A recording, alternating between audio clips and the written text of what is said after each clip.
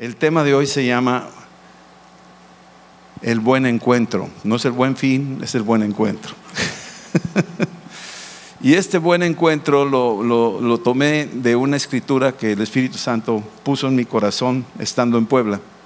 Quiero llevarlos a Génesis 24, vamos a leer algunas porciones de las escrituras. Y quiero empezarles a, decir algunas cosas de este capítulo. Es muy interesante, si tienes tiempo, léelo despacio para que veas la riqueza y el tesoro que hay. No solo este capítulo, sino la Biblia. Y en el capítulo 24 de Génesis voy a empezar con algo que me, llamó tanto la atención cuando Abraham está ya, tiene su hijo Isaac, acaba de morir su esposa Sara, y está él viendo qué sigue para su hijo, cuál es el plan. Su hijo tiene aproximadamente 40 años de edad ya y no se ha casado. Y Abraham siempre estaba soñando con la promesa que iba a tener una descendencia como las estrellas de los cielos.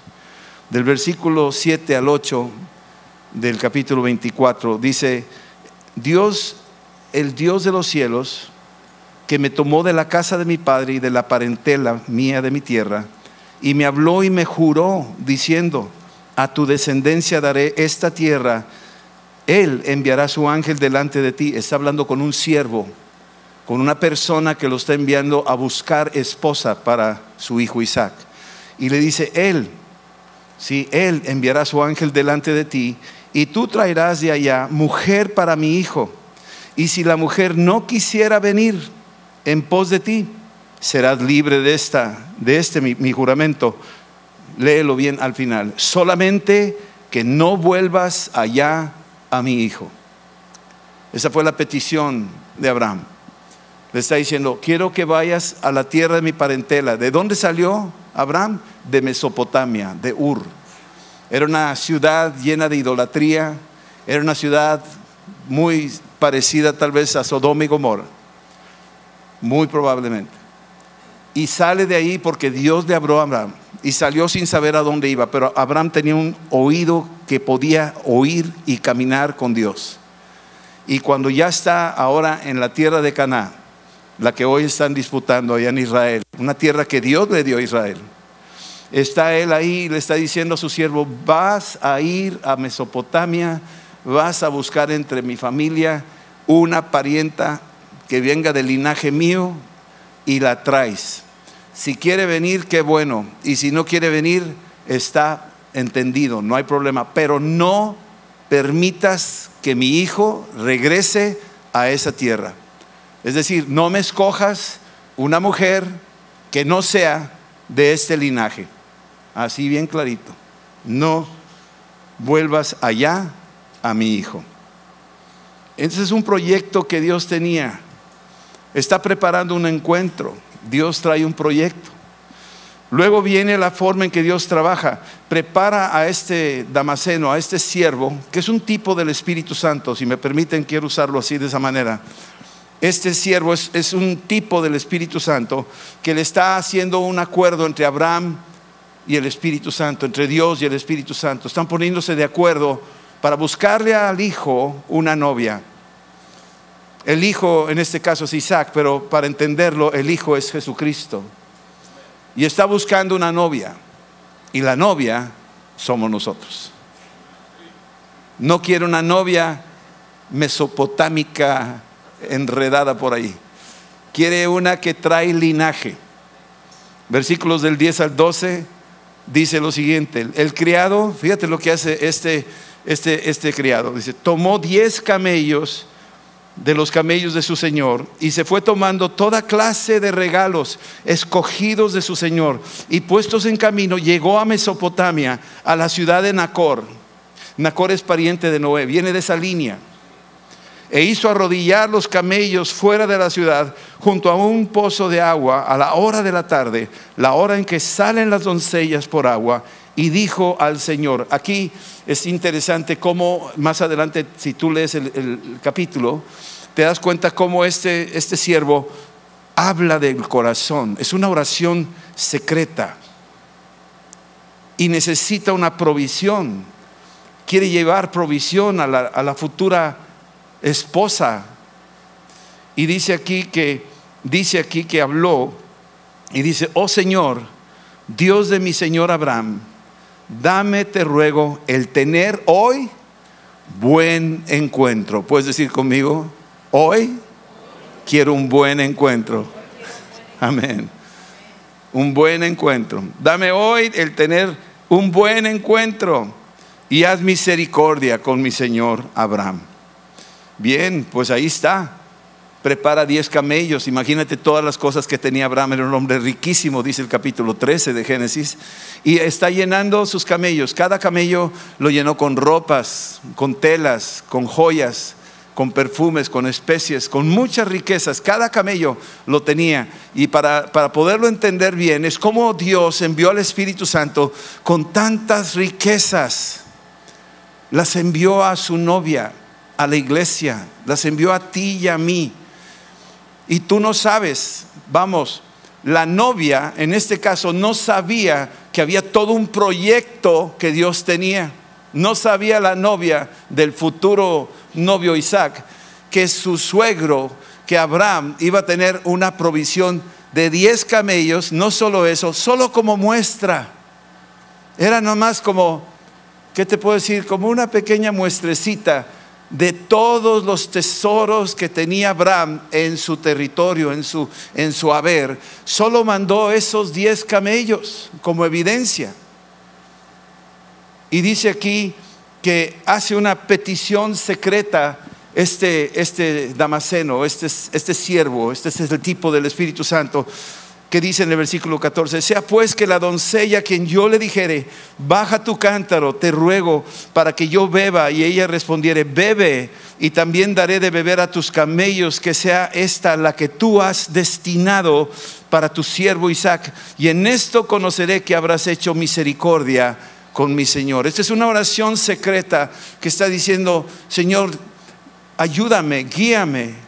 Acuérdate que el Espíritu Santo, una de sus funciones es guiarnos y está diciendo, la primera que yo, que yo pregunte o yo le pida agua y ella diga, no solo para ti, sino también para tus camellos. Esa, esa va a ser. Y es lo que el Espíritu Santo está buscando, una iglesia que no se limita, una iglesia que no se restringe, una iglesia que se vuelca, una iglesia que está sirviendo, porque en este caso Rebeca está llevando un cántaro de agua a su casa. Es una mujer que está en unidad con otras mujeres. Es diferente a la mujer que está junto al pozo de agua en el, capítulo 4 de Juan. Esa fue al mediodía, iba sola porque tenía cola que le pisaran. Entonces no, le convenía a esta mujer caminar. Es más, las otras amigas no se querían juntar con ella. Pero Jesús tuvo misericordia de esa mujer samaritana. Pero volviendo al tema, Está preguntando el Damaseno, Señor, el primero, la primera, que yo le pregunte, dame de beber y me diga, bebe tú, y no se limite a eso, sino diga, y le daré de beber a tus camellos también. Diez camellos. Los camellos ya saben que son tanques pipa, ¿verdad? Están cargados, toman agua, pero a borbotones. Y ella se dispone a servirle a este extraño y le dice, te voy a dar agua a ti y le voy a dar agua a los diez camellos que vienen contigo. Él puso esa condición. Era una, una, oración secreta. A veces nosotros podemos hacer oraciones secretas, oraciones que nadie oye, oraciones que tú haces ahí en, en el secreto de tu cuarto, donde tú pones todo delante del, donde tú quieres honrar a Dios y decirle, Señor, yo te quiero honrar y lo voy a poner todo a tus pies, todo lo voy a poner a tus pies. Y esas oraciones secretas, hay un Dios que escucha, hay un Dios que escucha, aún los pensamientos, los escucha. Y en este caso, esta fue una oración secreta, por decir así. Y tan pronto y terminó la oración, tan pronto y dejó de pensar en eso y de pedir eso, versículo 15 dice, y aconteció que antes que él acabase de hablar, he aquí Rebeca que había nacido de Betuel, hijo de Milca, mujer de Nacor, hermano de Abraham, la cual salía con su cántaro sobre su hombro.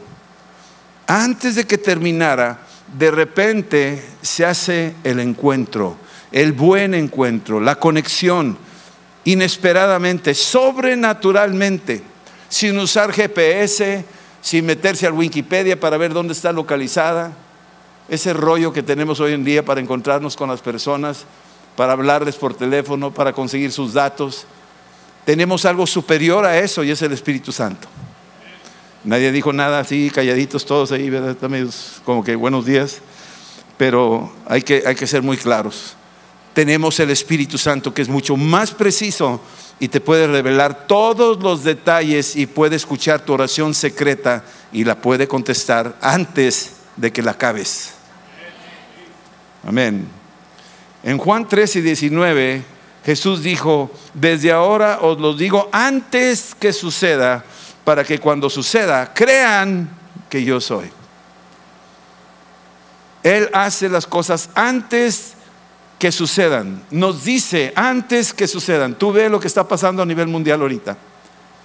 Tú checa bien lo que está pasando. Es increíble cómo la Biblia nos dice antes de que suceda para que cuando sucede tú creas y te des cuenta y dices, ah, caray, aquí está escrito. Eso fue lo que a mí me convenció cuando yo empecé a leer la escritura por primera vez y leía y veía los acontecimientos y me decía, caray, es igual. Lo que está diciendo aquí viene allá, está pasando. Y eso me convenció. Eso me llevó a un punto. Yo traigo una mentalidad analítica, ingeniero químico, me gustan las cosas más, más en detalle. Y cuando veía una cosa que checaba con la otra, no podía ser porque son acontecimientos espaciados por dos mil años. Aquí está escrito hace dos mil años y acá está sucediendo dos mil años después. Tú lees Zacarías, lee el Salmo 83 y está hablándote ahí lo que le va a pasar a Israel, que la van a sitiar sus enemigos, pero que van a ser exhibidos. Lee la Biblia en Éxodo 3 y 4, donde dice que la tierra que ahorita están disputando es una tierra que Dios le dio a Israel perpetuamente. Así lo dice. Es que brinquen y salten los demás países, es de Israel. Porque Dios cumple su palabra, Dios cumple su promesa. Entonces, aquí es importantísimo entender cómo Dios puede confirmar la palabra. Yo creo que estamos en tiempos donde Dios va a confirmar su palabra.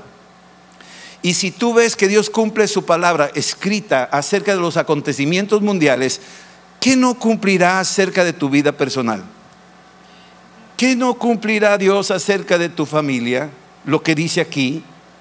Si lo está cumpliendo a nivel internacional y las mismas noticias que ni siquiera creen en Dios, están notificando al mundo entero la confirmación de la Biblia, ¿cuánto más no confirmará tus peticiones secretas el Señor? que están aquí apuntadas y que Dios dice, antes de que termine tu oración, yo te contesto. Entonces, fue una respuesta confirmada que dice aquí que versículos 18 y 20 le preguntó a ella, ¿me puedes dar de beber? Y ella respondió, bebe, Señor mío. Y se dio prisa a bajar su cántaro y sobre su mano y le dio a beber. Y cuando acabó de darle de beber, dijo, también para tus camellos sacaré agua. Y se dio prisa y vació su cántaro en la pila y corrió otra vez al pozo para sacar agua y sacó para todos sus camellos. Oración contestada. Antes de haberla terminado, Dios ya lo tenía todo preparado. Antes, cuando llegamos a Japón, me acuerdo, que llegamos buscando, ahorita dijo Raúl que se sintió en un Goshen Goshen era la tierra que escogió Dios para que le dio el faraón a, José. Una tierra muy buena, pero lejos de Egipto, lejos de las ciudades principales, pues porque tenían como cierta cosa, porque los hebreos cuidaban ovejas. Y entonces no quería, no quería eso, pero quería honrar a José que había interpretado correctamente los sueños y había salvado a Egipto. Nosotros cuando llegamos a Japón, sin saber a dónde íbamos a parar, y orábamos y le decíamos, Señor, te encargamos que nos ayudes, que nos des buena dirección, que tengamos un buen encuentro. Y el Señor nos conectó tremendamente, pues ahí con Rumiko, que fue nuestro intérprete por todos estos años, con Yoshihiro, Y al lugar a donde íbamos a parar, la casa en la que íbamos a parar, cuando entramos ahí, un banquero tuvo que dejar su casa por alguna razón y se tuvo que ir a otra ciudad. Y le urgía rentar la casa. Entonces, pues nosotros no le estábamos tirando tan arriba, porque pues una casa de un banquero, todos de pensar, es un palacio. No, allá en Japón este, los banqueros no son tan, tan acomodados. ¿Sí? Y entonces nos informaron que había una casa disponible, total dijimos, ¿a cuánto? Pues más o menos teníamos una casa en Puebla, la rentamos la de Puebla, pues teníamos X cantidad, dije, bueno, pues mira, em, ahorita me están dando esta renta, pues te doy esa renta por aquella. Era de locos decir eso, porque allá, olvídate, es carísimo. Pero dije, pues te doy lo que me dan de renta aquí allá. Y dicho y hecho, el dueño dijo, sale, que se vengan. Oye, son mexicanos, mm, que se vengan. Eh, tienen un perro, mm, que se vengan. Y cuando llegamos ahí, vivimos ahí. Me decían la dirección y yo iba ahí a, a, la delegación. ¿Dónde vive? Yo, ah, en Fukusumi Chiyo Hacho, me decía la, dirección, ¿no? Y le ponía y le ponía. Y, ah, y se reía. Total, pasó el tiempo y me causó curiosidad por qué se llama Fukusumi. Y cuando pregunté por qué se llama Fukusumi, siempre lo voy a testificar, porque el lugar en el que vivimos ahí 10 años, Fuku significa bendición y Sumi significa el lugar, el lugar de la bendición. Y ahí vivimos 10 años. Nunca nos subieron la renta, nunca nos faltó nada. Ahí nació la congregación que hoy está ahí. O sea, en Fukusumi. ¿Tú crees que fue casualidad? ¿Tú crees que es una ay, qué chiripada? Ah, nomás a ti te pasan esas cosas. Oigo varias personas que me dicen, no, nomás a ti te pasan esas cosas. Oye, pues, ah, pues órale. órale. Recibe. ¿Verdad? No. A mí nada más no. A ti también. Y es más, te ha pasado, pero no te has dado cuenta. Esa es la tragedia. Pues aquí viene y le dice esto y de repente dice, wow, me contestó, me contestó. Y empezó este Damasceno a repartir inicialmente algunos de los dones que traían sus camellos. Dice en el versículo 22, y cuando los camellos acabaron de beber, le dio el hombre un pendiente de oro que pesaba medio ciclo y dos brazaletes que, que pesaban diez. O sea, los camellos estaban cargados de tesoros, pero no se iban a invertir hasta que no apareciera la sierva, la iglesia que sirve, la iglesia interesada en bendecir al que necesita. Los tesoros están ahí. Todos los tesoros, esos diez camellos estaban cargadísimos de tesoros. Cuando ellos dio muestra de su fidelidad, de su servicio, de su entrega, de su sacrificio, dijo, te voy a mostrar un poquito de los tesoros que mi Señor tiene. Y le dio una brazaleta de oro, le dio una pendiente, tremendo, dices tú, wow, imagínate. Y se ve que es una iglesia desinteresada, al menos aquí Rebeca es una mujer no es interesada. No dijo, wow, hijo, me saqué la lotería, quiero más, dame más, dame más. Nada de eso. Ni siquiera sospecha. No sabe lo que viene todavía. Todavía no le dice, estamos buscándote, ya te conseguí novio.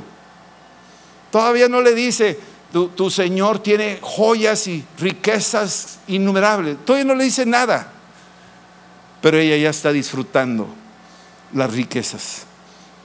Y empezó este, este Damaseno que me, me impacta porque cuando sucedió el evento, dice aquí en el versículo 26, el hombre entonces se inclinó y adoró. Y lo ves hacerlo tres veces en el capítulo.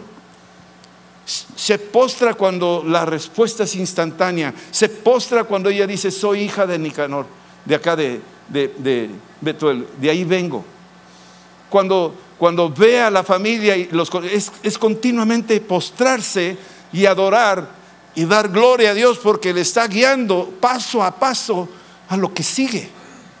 Y está asombrado de las cosas que Dios está haciendo. Bueno, el Espíritu Santo es el que nos habilita a adorar. En cada momento que Dios te bendiga, inclínate y da gloria a Dios por sus misericordias, por sus bondades. A veces estamos en una situación crítica y no sabemos qué sigue, pero cuando menos lo esperes, tú sigue adorando y el Dios Todopoderoso seguirá abriendo las puertas. Sí, esto fue lo que pasó. Y habrá pequeños estorbos, porque ahí aparece un personaje llamado Labán. Y Labán, pues no lavaba ni planchaba. Pero Labán es un hermano que está ahí y cuando ve que llega Rebeca con su brazalete y los pendientes, pues este corrió afuera, versículo 29 al 31, corrió afuera y dijo, ¿de dónde sacaste esas joyas? No, pues este, un señor extraño allá, ay, vamos adelante. Y cuando vio el pendiente y los brazaletes en las manos de su hermana, se decía, así me habló que el hombre vino a él. Y aquí que estaba con los camellos junto a la fuente y le dijo, ven bendito de Jehová, aleluya, gloria a Dios, ¿verdad? Ajá, ajá, sí, cómo no. ¿Por qué estás afuera? Muchos quieren los beneficios, ¿verdad? A veces tenemos algo de labanitis. Ouch. Nomás queremos los tesoritos. Ven, Señor Jesús, y cáite. Labán era así. Y está buscando intereses. Más adelante le hace lo mismo a Jacob. Le da la esposa que él no quiso, le metió la hermana mayor.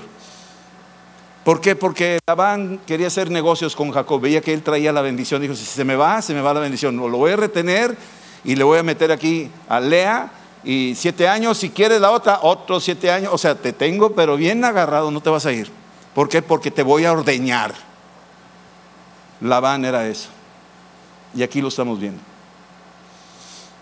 Y luego dice, ven bendito de Jehová, ¿por qué estás afuera? he preparado la casa y lugar para los camellos. O sea, luego se acomodó. Versículo 55. Labán está observando los diez camellos, está hablando con los que traen los camellos, está diciendo, oye, ¿qué cosas traen por ahí? No, pues traen esto, traen lo otro. Dijo, no, no, no, no, no, no se puede ir este hombre. Y entonces, versículo 55 le dice este siervo de Abraham, que ya encontró a Rebeca, que ya encontró que sí es del linaje de su hermano, entonces dice, no, pues ya, ya le hicimos aquí, ya, ya conseguí, ya cumplí el juramento que había tenido con Abraham, ahora me voy, ya me voy. Y entonces le dice, ¿me la puedo llevar? Ya terminamos, ya les expliqué cuál fue la situación, sucedió así, el milagro y se quedaron maravillados. Él, Labán dijo, wow, no, no, es tremendo, sí, sobrenatural. Ese encuentro de veras es de Dios, es un buen encuentro. Amén. Este, pero, este, ya me la quiero llevar. Sí, pero este, ¿por qué no te quedas 10 días? ¿Por qué le dijo 10 días? Porque iba a bajar camello por camello cada día. Eso supongo yo. El comentario mío lo puedes eliminar si no crees. Pero sospecho que ese era picudo. Y le dice, no, versículo 55, es, que, que, espere 10 días, a lo menos. Y tú dices, ¿por qué 10 días? Ya está confirmado todo, ya me la quiero llevar. Sí, pero no has descargado los camellos. Pues no son para ti, Labán, son para ella. son para ella. Son para la iglesia. El carnal quiere disfrutar las cosas para su propio beneficio. Pero Dios se lo quiere dar al espiritual. Ella no puso condiciones. Ella no dijo, bueno, mira, por cada camello cállate con una brazaleta. O sea, no dijo eso. Sino cada caso se va acomodando en su lugar. Y finalmente se da cuenta que no puede contra la verdad de Dios y finalmente tienen que despedirla. Versículo 60, la llaman Se juntan y ahí está la mamá y la bendice junto con Labán, ahí están, y la bendijeron a Rebeca y le dijeron, hermana nuestra, sé madre de millares de millares y posean tus descendientes la puerta de tus enemigos. Wow. Lo mismo, lo mismo que le dijo Dios a Abraham cuando estaba por sacrificar a Isaac. Génesis 22, 17, a punto de sacrificarlo, lo para el ángel y le dice, no lo hagas, no lo sacrifiques. Ya vi que tienes temor de Dios. Mira atrás de ti, hay un carnero enredado en sus cornamentas, en los zarzas ahí. Ese es el sacrificio. Es un tipo de Cristo. Ese es el, ese es el sacrificio. No tu hijo. Yo doy mi hijo, pero tu hijo no lo tienes que sacrificar. Wow. Y le dice, y, tus, y tu descendencia será como las estrellas de los cielos y poseerán las puertas de sus enemigos. Me encanta esa escritura. ¿eh? Siempre he pensado, hubo un tiempo que pensaba que las puertas se acercaban a uno y te tenían oprimido las puertas. No, nosotros somos los que asaltamos las puertas de nuestros enemigos. Nosotros somos los que tenemos que ser un equipo. Sí, somos como los equipos esos de las defensas y las ofensas, ofensiva y defensiva. Pues tenemos las dos características. Sí estamos para defensa, padres de familia defiendan a sus hijos, pero ustedes también tienen que ser los de la ofensiva, tienen que entrar, si en una escuela están promoviendo sacrificios o, cosas y altares, y vayan y hablen con ellos y digan, oye, ¿sabes qué? ¿Sabes lo que están haciendo? ¿Saben lo que están haciendo? Están invocando espíritus. Hablen con esos directores. No, es que pues, olvídalo, le van a hacer bullying a mi hijo. Perdemos a veces el, temple, la madera, el espíritu de confrontación espiritual en orden, con respeto, pero decir las cosas. Que esas cosas no, no son conforme a Dios. Que estamos exponiendo a los niños a que abran sus puertas espiritualmente hablando. Y al rato tenemos a nuestros hijos oprimidos de alguna cosa que ni siquiera sabes cómo echarlos fuera. Aquí estamos viendo que la promesa sigue en pie. Ellos sabían esa promesa. Por algún caminito oyeron por ahí eso que ustedes poseerán las puertas de sus enemigos. Ustedes serán como las estrellas de los cielos. Esa es la promesa. No podemos quedarnos pensando de que pues, será será para mí esa promesa o no. Es para nosotros. Luego viene la bendición de la espera. La recompensa por saber esperar. Isaac, a kilómetros de distancia, fíjate cómo trabaja Dios. Tú crees en los satélites, ¿verdad? Y tú crees que puedes ver el fútbol americano o el béisbol, ¿verdad? La, serie, ¿no? Y están allá jugando y tú estás acá de este lado, en México, y viéndolo y como que rebota la señal y tú, ah, sí, hasta palomitas te comes porque sí le crees al satélite. Pero acá está Dios, por un lado, atendiendo la oración de ese siervo se la contestó antes de que terminara. Lo conectó, un buen encuentro con esta mujer, Rebeca. Y acá, kilómetros de distancia, está Isaac. Isaac está solo. Su mamá acaba de morir. Está en un duelo. Ha pasado un tiempo, y dice aquí en el versículo 62 al 64, y venía Isaac del pozo del viviente que me ve era un pozo que su padre lo había frecuentado. Él habitaba en el Negev. Y había salido Isaac a meditar al campo. Y sabes, a veces, a veces es bueno saber esperar. Y mientras esperas, meditar. Yo tenía un amigo chino cuando estudié allá en Japón y se llamaba Yu. Y yo estaba muy triste porque me había venido me había ido a Japón y yo estaba por casarme con Adriana, pero nos dieron la beca y no se podían ir dos personas y total acordamos en que yo me fuera y que ella me esperaría y yo le esperaría. Y así fue.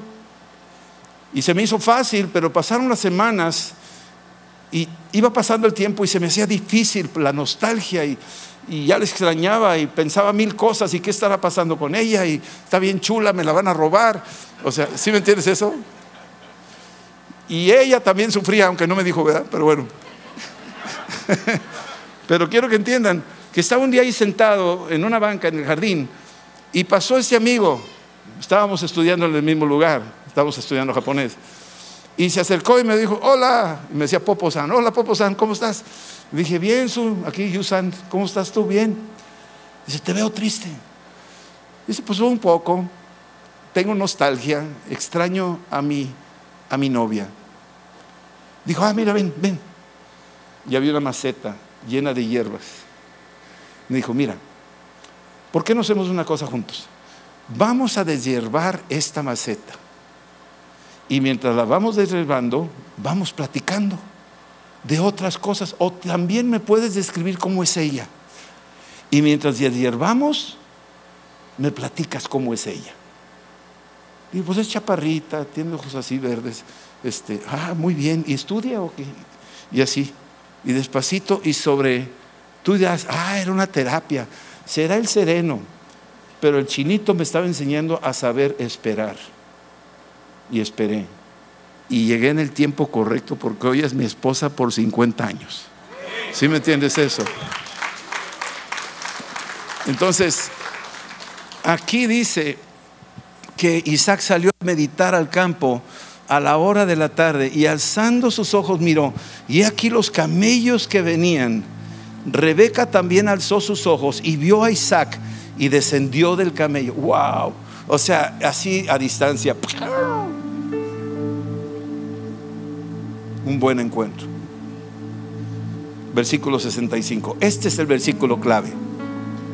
Este, me encantó. Rebeca preguntó al criado.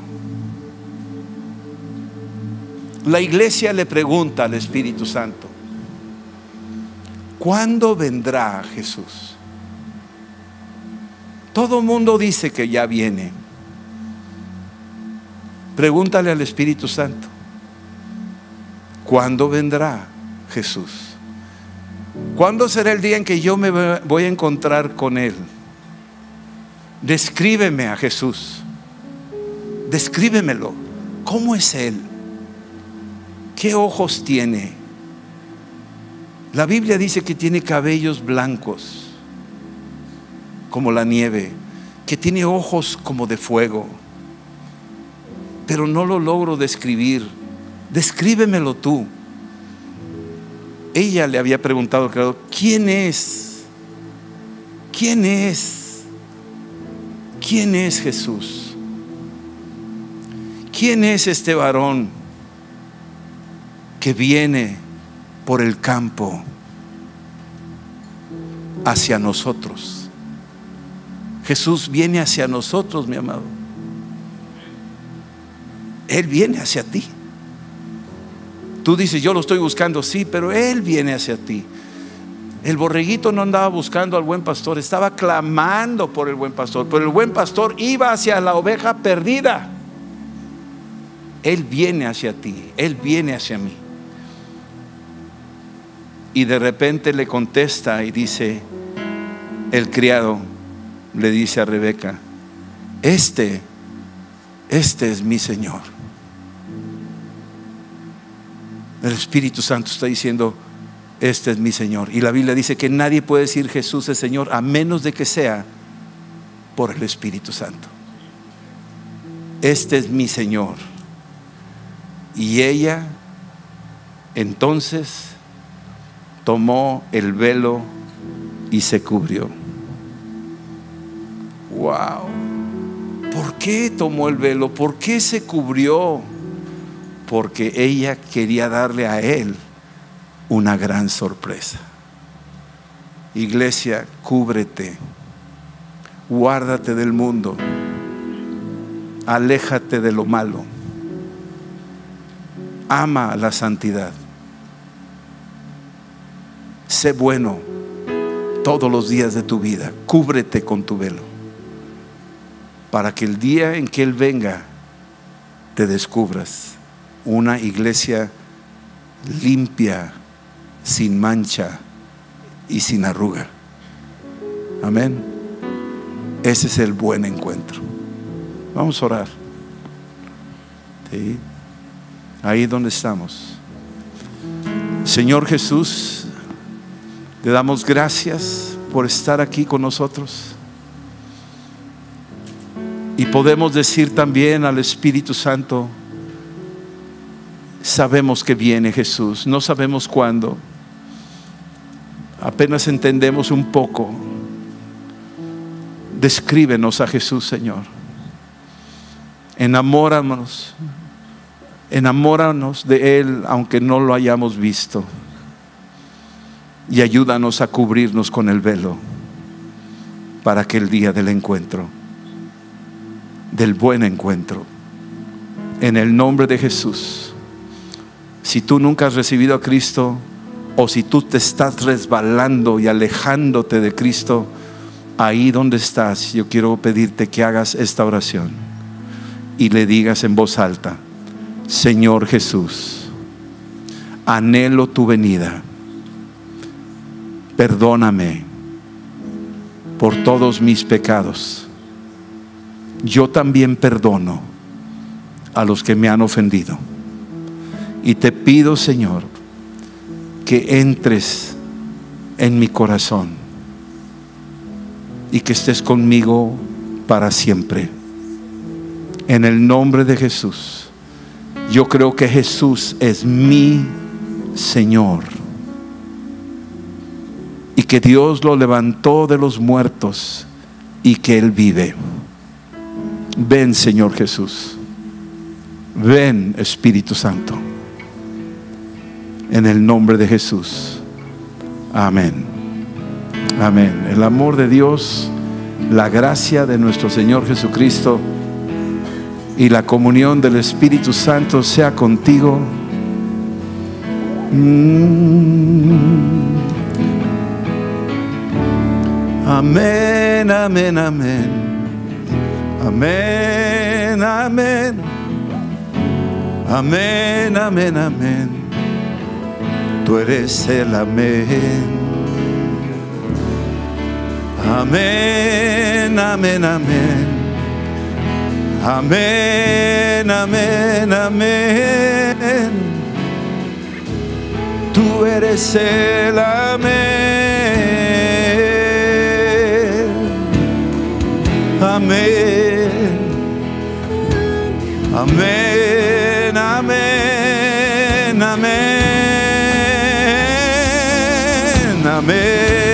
Amén, amén, amén. Amén, amén.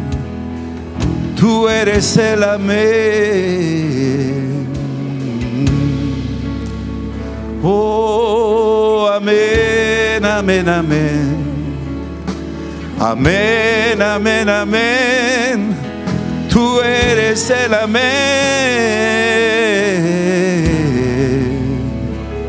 Mm, amén, Haz tu oración secreta ahorita. Haz una oración que sale de tu corazón, que nadie escucha. Pero hay un Dios que sí.